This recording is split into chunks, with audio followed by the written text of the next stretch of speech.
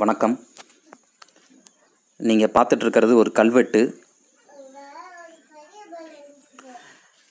தமிழ் பிராமி மொழியில் எழுதப்பட்டிருக்கிற ஒரு கல்வெட்டு. அந்த வார்த்தைகள் இதில் தெளிவாக தெரியலை. ஆனால் மதுரையில் சமணம் என்ற இந்த புத்தகத்தில் இந்த கல்வெட்டை பற்றின குறிப்புகள் இருக்குது இந்த கல்வெட்டில் தாக பேருதை முசிறிகோடன் எலமகன் அப்படின்னு சொல்லி எழுதியிருக்கிறதாக ஒரு தகவல் இருக்குது அதை பற்றி நம்ம டீட்டெயிலாக போக வேண்டாம்.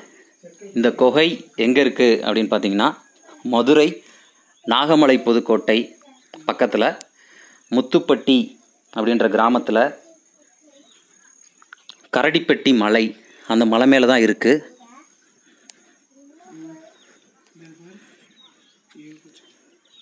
இந்த மலைக்கு பெருமாள் மலை அப்படின்ற ஒரு பெயரும் உண்டு.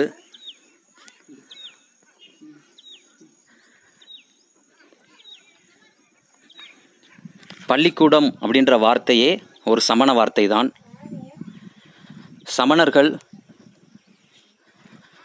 இது போன்ற பல மலைப்பகுதிகளில் அங்கேயே தங்கி இப்போ சொல்கிற ரெசிடென்ஷியல் ப்ரோக்ராம் மாதிரி கல்வி கற்று அங்கேயே தங்கி சமைச்சு எல்லாம் பண்ணனால பள்ளிக்கூடம் பள்ளி அறை என்ற வார்த்தை வந்தது.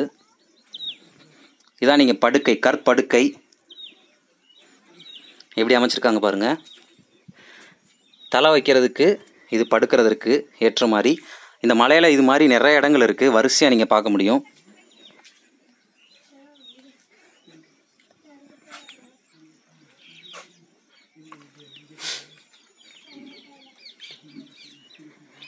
இந்த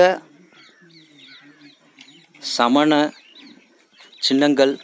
இது ஒரு தீர்த்தங்கரர். இந்த தீர்த்தங்கரர் இந்த சிலை இங்கே அமைக்கப்பட்ட காலம் கிபி ஒன்பது டு முதல் பனி பத்தாம் நூற்றாண்டு அப்படின்னு சொல்கிறாங்க இங்கே பார்க்கலாம். நீங்கள் கீழே ஃபுல்லாக அந்த கற்படுக்கைகள் தான் இருக்கும். இந்த மலை மேலே வந்து ஒரு ரெண்டு தீர்த்தங்கரர்களுடைய சிலை இருக்குது இந்த ரெண்டு சிலையினுடைய வயது கிமு ரெண்டாம் நூற்றாண்டு அப்படின்னு சொல்லி சொல்கிறாங்க இந்த சிலைகளுக்கு கீழே நிறைய எழுதியிருக்கிறாங்க. தமிழ் பிராமி கல்வெட்டு தமிழ் பிராமி மொழியில் எழுதப்பட்டிருக்கு. அந்த நான் சொன் காட்டின புத்தகத்தில் இதை பற்றின குறிப்புகள் நிறையா வருகிறது. ஃபுல்லாமே இந்த மலை முழுவதும் எங்கெங்கெல்லாம் இடம் இருக்கோ கொஞ்சம் சமவெளி மாதிரி வரக்கூடிய பகுதிகள் எல்லா இடத்துலையுமே அவங்க வந்து ஒரு படுக்கை வந்து அமைச்சிருக்காங்க. மதுரையில் இந்த சமணர் மலை போன்று பதினான்கு இடங்களில் மதுரை இருந்திருக்கிறது.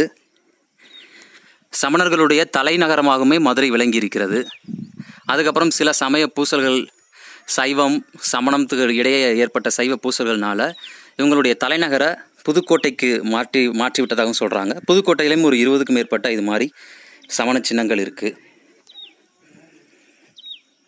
மதுரையில் அனைவரும் கட்டாயம் தெரிந்து கொள்ளப்பட வேண்டிய ஒரு இடம் இந்த மதுரை காமராஜர் பல்கலைக்கழகத்துக்கு அப்படியே எதிரில் இருக்குது வடபழஞ்சி அப்படின்னு ஒரு கிராமம் இருக்கும். அதற்கு அருகில் முத்துப்பட்டி சிற்றூரில் கரடிப்பட்டி மலை பெருமாள் மலை அப்படின்னு இதற்கு ஒரு பெயர் இருக்குது இந்த மலையை பற்றி நீங்கள் தெரிஞ்சுக்கலாம். இந்த மதுரையில் சமணம் அப்படின்ற புத்தகத்தில் இதை பற்றின மெயின் அதிகமான டீட்டெயில்ஸும் உங்களுக்கு கிடைக்கும். நன்றி.